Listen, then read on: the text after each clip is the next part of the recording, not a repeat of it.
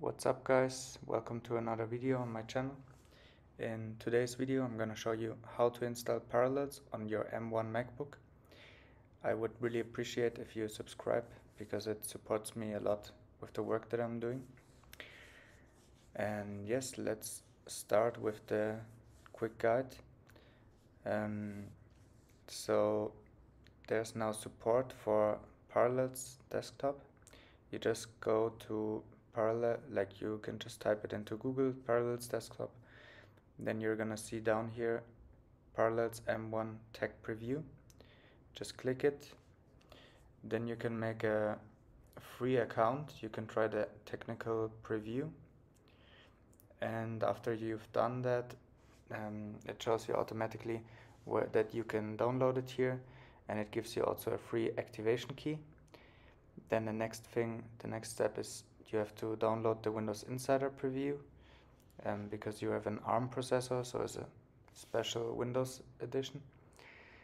Um, the best is if you just make a Windows Insider um, account and then you can uh, download it really easy.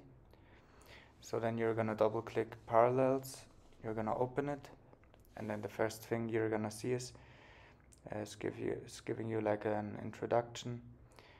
Um, just click continue. It automatically found already the exi existing um, file from the Windows 10 ARM edition. Then you just say create. It's gonna take a little while to create. And then you can sign in here with your Parallels um, account that you have just created. And then after that you can use the activation key that you also just received. Um, then it's just gonna configure everything. You have to allow the access to your computer. Gonna take a little while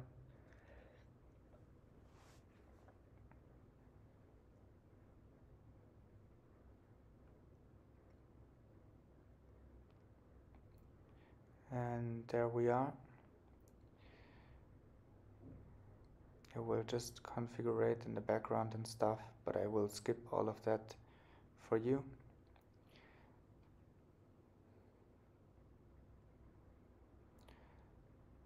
Okay and here we are. It's gonna set up some more things in the background but we are already set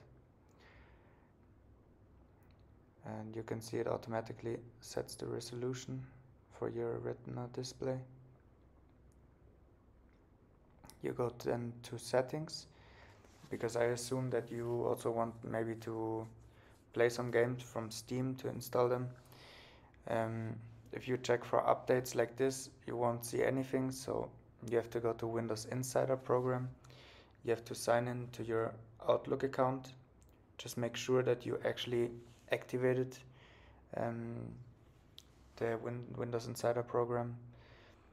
And once you log in um, you can here activate the beta channel and then make sure that you hit that um, marker up that you want to have the updates for the dev channel.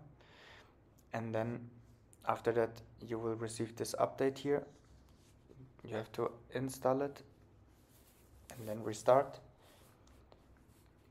And after that you're gonna be able to install normal 64-bit games from Steam. He's just gonna install from the toolbox from Parallels. And now I'm gonna download Steam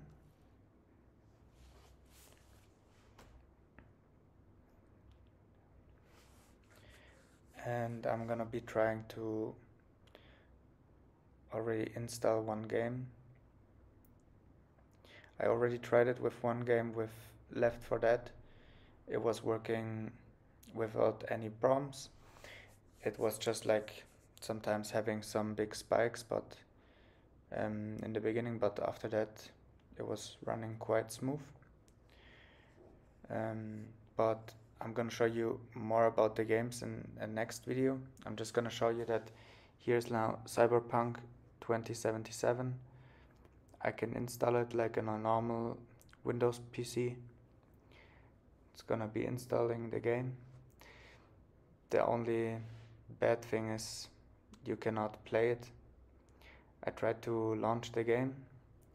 Like you can actually launch the game, but it's just gonna be loading long time and then it will just go to this black screen and then you are gonna think it will start but at the end you will just get disappointed. I don't know what the exact problem is but I think maybe uh, because of the graphic card drivers because they're just standard display drivers so yeah that's for the quick video for today. Thanks for watching. Like and subscribe if you liked the video. And check out my next video for gaming on parallels. Bye